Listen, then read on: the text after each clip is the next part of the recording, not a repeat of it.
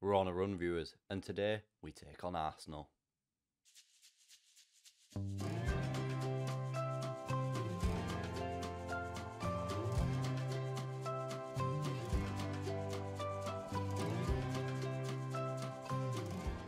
As I said, then, viewers, we are on a run, and that is a run of form. It doesn't look like it straight away.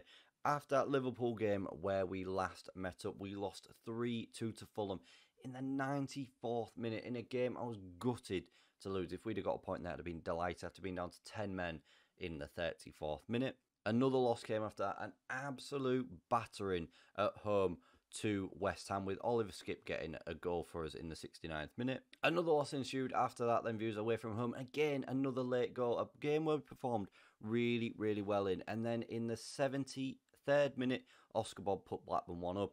79th minute, we got a penalty and equalised. 89th minute, late heartbreak once again, and we lost out on a point after Oliver Skipp was sent off for the second time this season.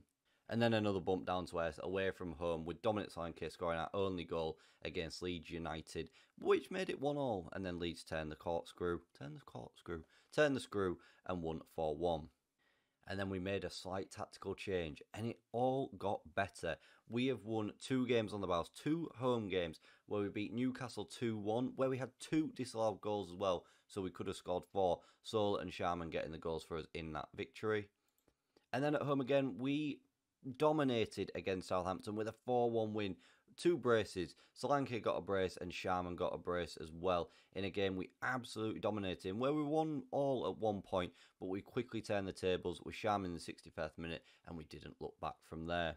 So those results have seen us climb up the table. We are now on joint 18th in the league with five teams on nine points as West Brom, Wolves, Leicester, us, and Blackburn even more sickening that we lost that Blackburn game because if we'd have beaten them or at least got a point, we'd have been we, we wouldn't even be in the relegation zone. Arsenal currently sitting in nine, six points ahead of us. Can we pick up a victory? Can we continue this run of form? Let's go have a look at the starting eleven and find out. So the starting 11 today is Miguel Archer in goal, a back four of Fran Garcia, Jimenez, Archer and Clark, Skipp and Ramonski in the middle, Solo on the left, Verstappen on the right, and Sharman and Solanke leading line. That seems to be a dangerous pair and they made light work of Southampton. Can they do it today at the Emirates against the Gunners? Let's get that game kicked off and find out. It's going to be a tough game, but the run of form we're in, who knows, confidence is at a high. Arsenal not doing as well as they should. Let's see if we can get the three points. It'd be quite the upset. So we have told the boys we have got nothing to lose here. And I mean, sending them out with that confidence in the form that we're in with those two back to back wins, you never know what could happen. Just tell the boys to go out there and enjoy the game as Arsenal fly a shot past the post within three minutes here at the Emirates. And that's been the only chance so far as we just crossed the 10 minute mark in this game. Ola Matthias with a free kick in a dangerous area, whips it round the post. Thankfully, it had gone the wrong side. That would have been a really, really good free kick. A lot of bend on that, but thankfully it remained nil nil.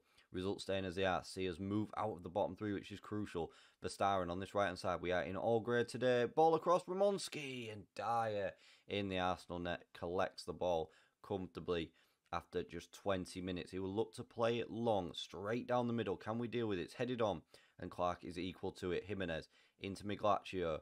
Clark on this right hand side finds Verstappen into Skipp in the middle. That's a poor ball back, which is given away straight to Darwin. Ooh, we're lucky that no challenge was felt from behind there because we definitely would have given away a penalty.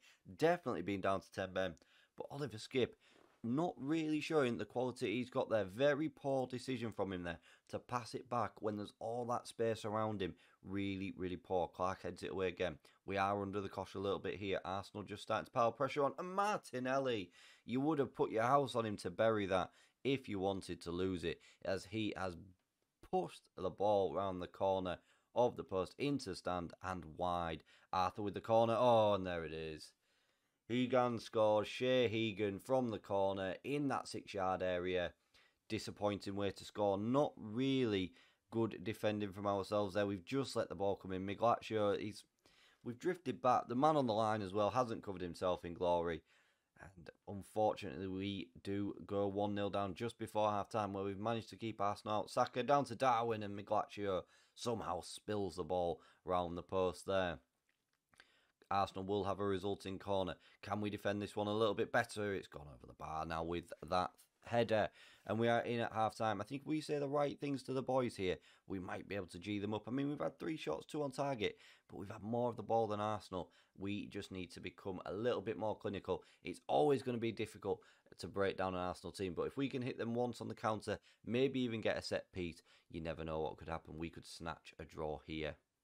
We're going to point the finger, tell the boys that wasn't good enough. They know it. I mean, it's it's unfair to say it wasn't good enough in the respects of if you lose 1 0 to Arsenal, there's no disgrace. But not to really create the chances that we have been doing, especially over the last few games, is really poor on our part. And that's, I mean, that's a free header on the penalty spot where we shouldn't be giving away those efforts.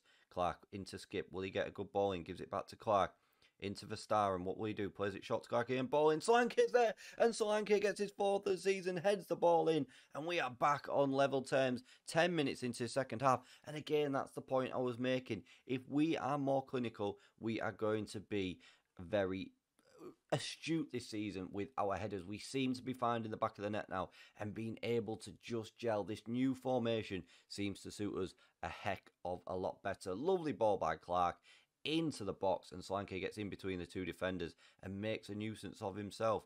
Archer into Skipp. The, I mean, momentum's definitely swung in our favour here as we go to Clark again on this right hand side. What will he do? He was instrumental in the build up of the last one. Radomonski not really clicked on. He's won the ball back though in the centre circle. Sola on this left finds a good ball to Vestar and will he play it back to Clark or will he go alone? He's turned in on himself, gives it to Clark. He whips a good ball in again. Solanke is waiting and it is headed away. Dominic Solanke, has, I mean, I was unsure when we signed him, and he's proved to be an absolute gift to Arsenal. Go down the other end and hit the post, and thankfully it spared any blushes. Radomonski just loses the ball there just before the hour mark. 32 minutes of this game remaining, and Arsenal are now starting to pile the pressure on. Once again, this momentum has swung, but Carson, Clark wins the ball back to Vestar and Solanke. He drifts out to his right hand side. Plenty of room for him to run into on this far side. Will he? Oh, he's just won a corner. He's won a throw in rather from nothing. And here is a throw in for Arsenal. Next highlight. Morris on this right hand side. He is. Oh, Sola's done really well defensively there. Clears the ball away to Sharman, who just gives the ball away cheaply. A cheap waste of possession. Pedri's in. And it's 2 1. It's 2 1. We've given away the ball cheaply on our right. Arsenal cut the ball across the middle there. That's the key thing. Morris cuts this ball across to the left hand side to Arthur. Martinelli, one touch finishing, one touch passing into Pedri. Plenty of room in front of him because I think everyone was still just drifted over to this near side here and wasn't really in the right position. And Arsenal have punished us. I'm going to drop some encouragement because we have improved the second half massively. Fran Garcia into Solo on this left loses the ball cheaply once again. It's not the first time that we've seen him do that.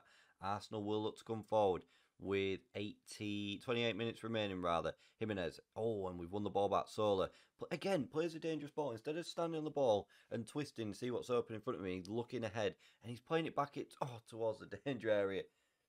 And as we've conceded, Nunes now, Arsenal showing their quality in the 63rd minute once again. Acres of space in this midfield. Look at the gaps we're giving away here. I mean, look at this. Morris Good ball in. Brown, Darwin, rather, just gets the ball over our defender there. I think it's Archer who's been outjumped. Really, really poor from us here so far in this last 10 minutes or so. We started out like a house on fire in the second half, and it's we've just we've just gone shy on ourselves. Sharman's in there. Oh, he's going to be offside. He's going to be offside. I mean, that really, really could have changed the course of this game. But when you look at the goal times, 62, I mean, two goals in a minute. Two goals in a minute. You're never going to win, are you? I mean, that would have been three goals in two minutes of football. But my word, I think we are desperately, desperately unlucky there. But to concede in the 62nd, 63rd minute really just blows any wind out of your sails that we had built up. And it was just a couple of poor bits of players. Clark has lunged in, could well be sent off here. Not for the first time this season, we'll see a red card on camera. Are we going to see another one? I think we are. We are. And that changes plans, doesn't it? I think we'll have to bring a striker off. I mean, Sharman, 6.10. Really, really poor from him today. We'll bring Lavenci on. Solanke goes up top on his own. I think we'll make a change in the midfield as well. We'll bring Win on for. I mean, Skipp and Radomonsky is not having a good game. We'll bring him on for Radomonsky.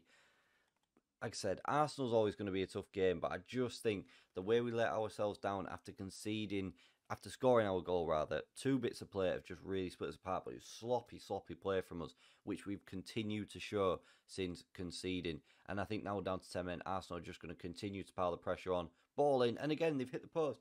No, again, we're a yard off in that area, and it's really starting to show the quality and the gap that we are leaving. How much that one extra yard can give Arsenal. Sola, ball in, and it's headed away. Arthur will look to break forward for Arsenal here. Long ball over the top into Morris. Plenty of room for him to move into it, but no chances for anybody else as he has gone alone and hit the post. And we drop down to second bottom in the league, which is a shame after such a good run of form. Those two two big wins, they are big wins for us. It's just come undone a little bit here. What I was thinking though at one point is we might have ended up not actually winning a game this season or drawing it, not picking up many points. Put it that way, because we've already won, haven't we? Either way. We are struggling, and I think those last two games showed that we can actually do things in this league. But against the bigger boys, this is where our season could come unstuck because I'm just thinking that the the momentum that these games where we're not playing the bigger boys build up could be really good. However, if we get hammered three, four, five, it could really just lower confidence, which can affect things for quite a while. And I think that did show with that poor run of form we put together before the two wins as Bukayo was in here, but a great challenge by Jimenez. But Aaron's picks it up, ball in. How on earth have they missed that? Arsenal should have had six or seven today. They've had 24 shots on to, well, 24 shots and nine to our net. And that's another one. That is another one. 25 and 10. We've had six and five. I mean, we've been, I mean, that's, that's a good ratio, isn't it? Six shots, five on target. As a again, another shot. But we've just faced so many. But to go down to 10 men, I think really swung the balance and concede those two quick goals. I think if we hadn't conceded that second goal so quickly, things might have just been a little bit more of an open game, whereas I think Arsenal were going in for the kill and we couldn't withstand the pressure today.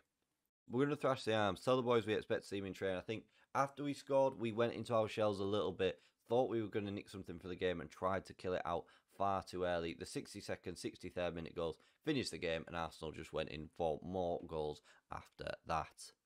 And ultimately, that result sees us stay in 18th position, but there are now just three teams on nine points Leicester, us, and West Brom. West Brom, a team that we've already beaten, so Leicester are another team that we should be looking at picking points up off.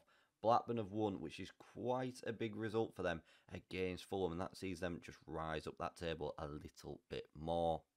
I think what we'll do is, viewers, we will come back straight away and we'll play the Manchester City game. They're currently top of the table. Again, we'll give ourselves a very good test here. And then we've got a run of form coming up where we could pick up some points. And I'm already looking ahead to maybe a Sheffield United Norwich game.